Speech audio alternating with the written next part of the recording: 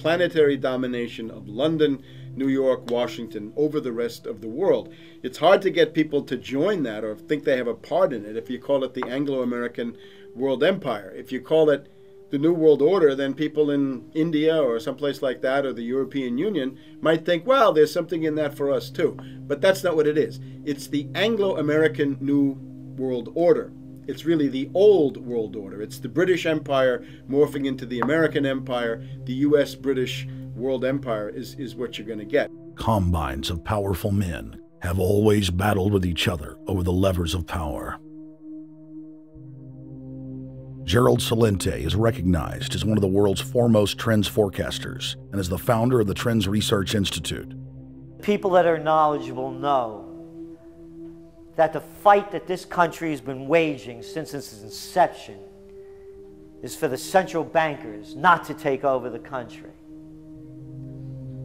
And that's why people like Andrew Jackson were elected. And that's why people revere people like Thomas Jefferson and others. The takeover's happened, and it's a corporate takeover. Agents of the Bank of England attempted to assassinate President Andrew Jackson on multiple occasions because of his resistance against a private central bank being set up in the United States. And it was something that Abraham Lincoln warned. And this is, by the way, why I believe he was assassinated. This is the Lincoln quote The money powers prey upon the nation in times of peace and conspire against it in times of adversity. It is more despotic than monarchy, more insolent than autocracy, more selfish than bureaucracy. I see in the near future a crisis approaching that unnerves me and causes me to tremble for the safety of my country. Corporations have been enthroned.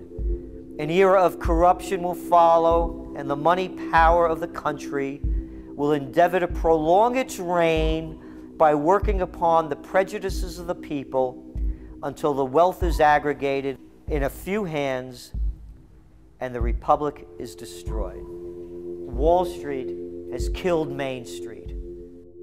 So I know how unpopular it is to be seen as helping banks right now especially when everyone is suffering in part from their bad decisions. I promise you, I get it. Up until about the Kennedy assassination and the beginning of the war in Vietnam, the United States is a very powerful engine for world progress. It's the assassinations, the Kennedy assassination, and the others in the 1960s, the beginning of the Vietnam War, and the beginning of the absolute domination of the Wall Street Group over every other interest. Nobody else counts except the Wall Street money masters. That has now made the United States into uh, no longer a force for progress, but something very different, often a force for destruction in the world. The military industrial complex has taken over the country along with the Wall Street gang.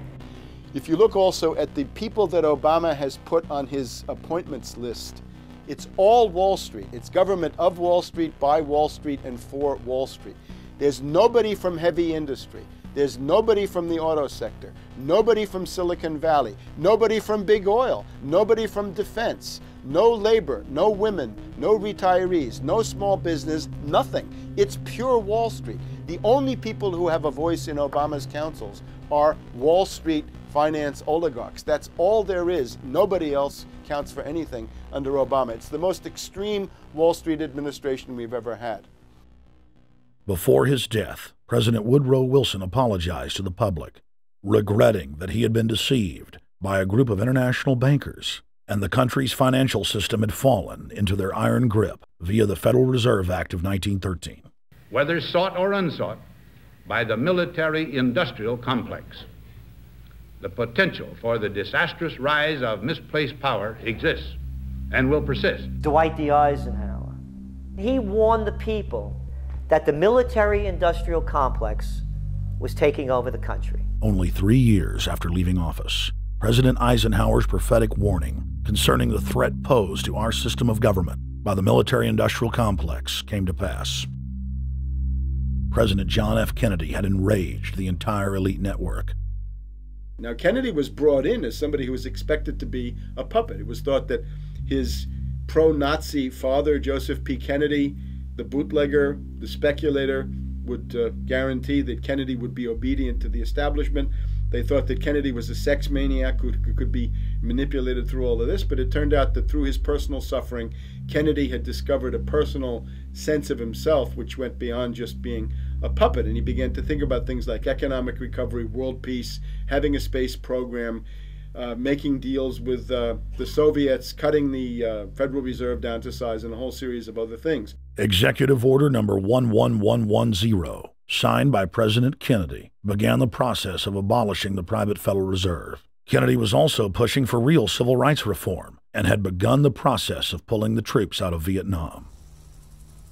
The last time you had an actual president was uh, Kennedy. The oligarchs took swift and decisive action. When John Kennedy attempted to take the government back from the robber barons, he was brutally murdered. The message to future U.S. presidents and leaders across the world was clear do as you're told or die. John Fitzgerald Kennedy was the last true president of the United States. And until the globalists are removed from power, we will never have another real one. The other thing about the American presidency you've got to remember is that this is a puppet post. It's automatically going to be a puppet post. The idea that Obama is somebody who's going to come in and exercise real authority when he's obviously been chosen and given everything that he's got by these financiers. Presidents are now little more than corporate pitchmen who take all the political heat, while the controllers remain in the shadows, safe from public scrutiny. Hip hop icon KRS One is not just known for selling millions of albums. He has led a tireless crusade against youth violence and has been a strong voice for human rights. If they controlled it before, what are you, why don't, what makes you think they're not controlling it now? The country was on a verge of revolution. They threw a black man up.